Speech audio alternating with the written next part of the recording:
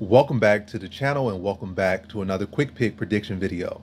In this video, I'll be predicting the women's story bout in ONE FC between Itsuki Hirata versus Heqin Lin. And how I see this one right here, I'm going high confidence Itsuki Hirata. I ain't going lock, like I said, these a lot of times with these things, unless it's truly, truly, truly a lock, don't go lock.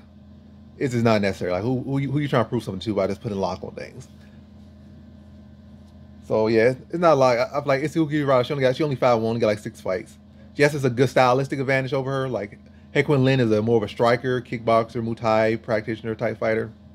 And, you know, she's working on her jiu-jitsu, working on her wrestling, but it's still very much undeveloped. Itsuki Hirata is more of a grappling-based fighter, a more, you know, naturally full mixed martial artist fighter, where Heqin Lin coming from is a specialist. And um, it's not like she's no big killer on the feet. She's not. So, like, you're dealing with a striker who footwork as far as MMA and footwork is in a super amazing. So you should be able to find the takedowns. Janelle Fee is not no real big finishing threat. She got a decent um, triangle choke off her back, and but it's like nothing stellar. I feel like Itsuki Hirata should be able to shut down everything she got on the ground pretty easily and should have any concerns there. On the feet, there are some concerns, but again, it's not real no finishing threat. I'm saying obviously, like we saw with Leon Edwards, everyone has a finishing threat. You can't just ignore somebody say, "Oh, they don't have a finishing threat."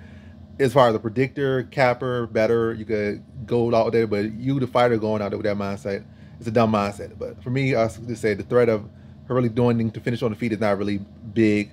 And Suki Hirata getting her to the ground definitely very big. And she, she just win by controlling her. But I feel like she's gonna be to take her down, control her, you know, wear her down and low, and then be the tap her out in the third round. So high confidence Itsuki Hirata.